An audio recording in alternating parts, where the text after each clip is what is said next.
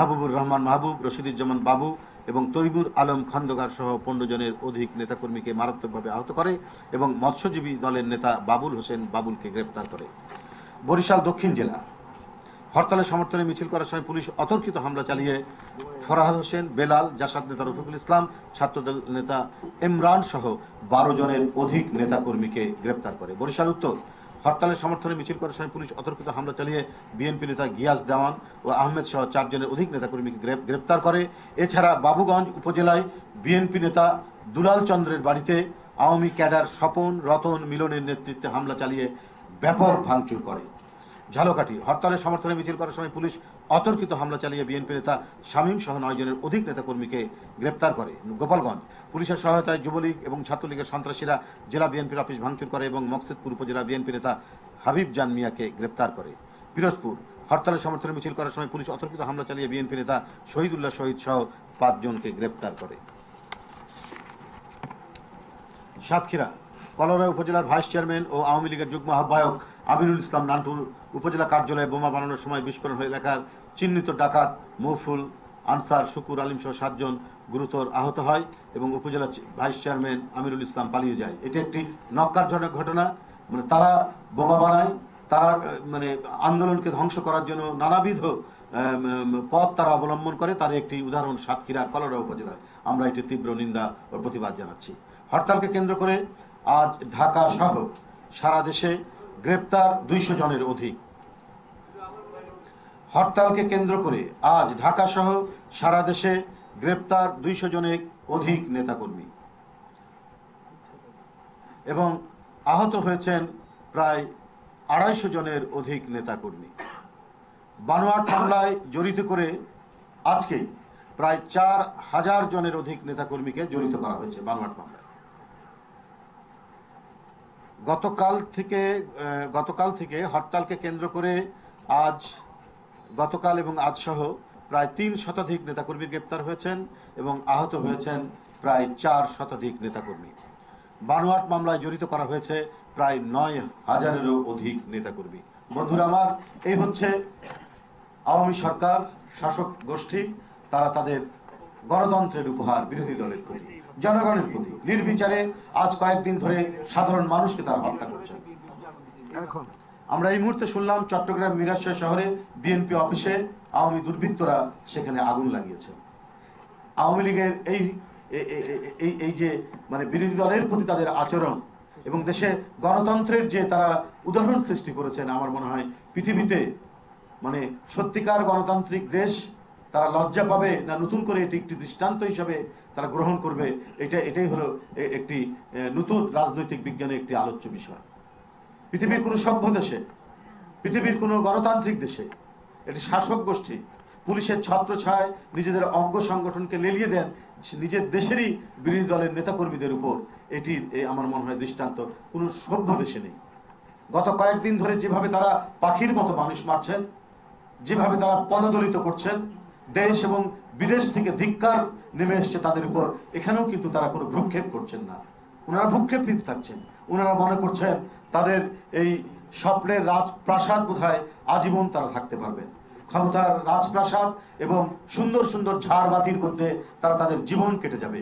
কিন্তু জনগণের উপর অত্যাচার করলে, জনগণকে নিপীড়ন নির্যাতন করলে, জনগণকে বেধড়ক, নির্বিচারে গুলি করলে, হত্যা করলে এটার এটার যে কি ধরনের প্রতিশোধ আপনা থেকেই তাদের উপর ধেয়ে আসবে, সেটি তারা মানে এখনও তারা গ্রাহ্য করছেন না। আজ জনগণ প্রতিরোধে প্রতিরোধে আপনারা দেখেছেন, প্রত্যেকটি জায়গায় আজকে প্রতিরোধ করেছে। গোটা দেশ অচল হয়ে যাওয়ার মতো অবস্থা হয়েছে। বাংলাদেশের বিভিন্ন জায়গায় রাজপথ অবরোধ করেছেন। রাজপথে সাধারণ মানুষরা নেমে এসেছেন। আজকের হরতালেও আপনারা দেখেছেন যে সারা দেশ একেবারে স্তব্ধ হয়ে গেছে, নিশ্চল হয়ে গেছে। এই সরকারের বিরুদ্ধে জনগণ স্বতঃস্ফূর্ত সমর্থন জানিয়েছে, তারা রাজপথে নেমে এসে। বন্ধুরা আমার, আমরা আজকের এই হরতালে যে সমস্ত দলের নেতৃবৃন্দকে মিথ্যা মামলা দেওয়া হয়েছে, বানোয়াট মামলা দেওয়া হয়েছে, আমি এই মিথ্যা মামলা প্রত্যাহার করার জোর দাবি জানাচ্ছি। যাদেরকে গ্রেপ্তার করা হয়েছে, তাদের মিথ্যা মামলা প্রত্যাহার করে এই মুহূর্তে তাদের নিঃশর্ত মুক্তি দাবি করছি। এবং যে সমস্ত নেতাকর্মী পুলিশের নিপীড়নে, র্যাবের নিপীড়নে এবং আওয়ামী পান্ডাদের নিপীড়নে নির্যাতনে আহত হয়েছেন, তাদের আশু সুস্থতা কামনা করছি।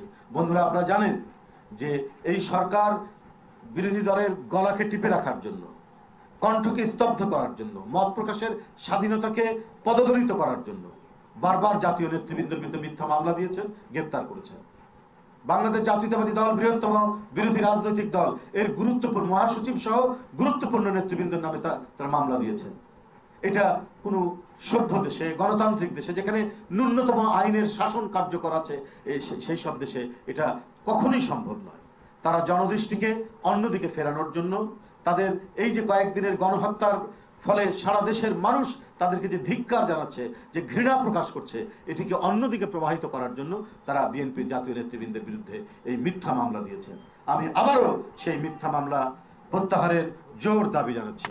বন্ধুরা আমার, এই যে নিপীড়ন, নির্যাতন, গণহত্যা, গ্রেপ্তার, মিথ্যা মামলা প্রতিবাদে বাংলাদেশ জাতীয়তাবাদী দল আগামীকাল ঢাকা সহ সারা দেশে বিক্ষোভ সমাবেশ পালন করবে। জেলা না উপজেলা? বাংলাদেশ ঢাকা সহ সারা দেশের জেলা সদরে বিক্ষোভ সমাবেশ অনুষ্ঠিত হবে। জেলা মহানগরে।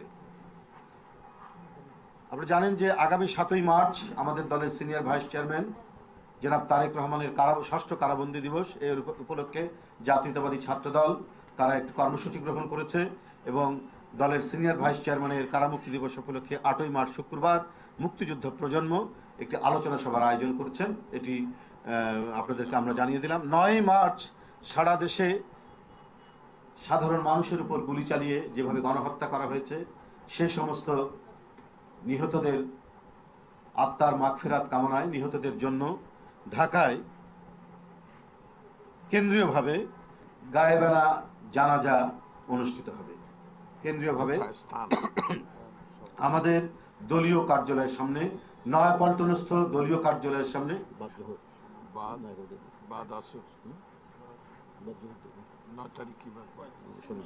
বাদ জোহর। আমরা বাদ জোহর কেন্দ্রীয়ভাবে আমাদের বাংলাদেশ জাতীয়তাবাদী দল নয়াপল্টনস্থ কেন্দ্রীয় কার্যালয়ের সামনে গায়েবানা জানাজা অনুষ্ঠিত হবে। এই হলো আমাদের কর্মসূচি। এটি আপনাদেরকে জানিয়ে দিলাম। আপনারা সারাদিন ধরে যে কষ্ট করেছেন যে কষ্ট করেছেন, এই জন্য এখানে সংবাদ মাধ্যমের সকল কর্মী ভাই বোনদেরকে আমি আবারও আন্তরিক শুভেচ্ছা জানাচ্ছি এবং আপনাদেরকে আমি বাংলাদেশ জাতীয়তাবাদী দল বিএনপির চেয়ারপারসনের পক্ষ থেকে আন্তরিক শুভেচ্ছা এবং কৃতজ্ঞতা জানাচ্ছি এবং আপনাদের মাধ্যমে আজকে সারা দেশে যেভাবে জনগণ বিএনপির এই ডাকা এই হরতালকে সাফল্যমণ্ডিত করেছে স্বতঃস্ফূর্তভাবে। এই জন্য বাংলাদেশ জাতীয়তাবাদী দলের চেয়ারপারসন দেশনেত্রী বেগম খালেদা জিয়ার পক্ষ থেকে আমি সারা দেশের জনগণকে আন্তরিক শুভেচ্ছা এবং কৃতজ্ঞতা জানাচ্ছি। আমি আপনাদের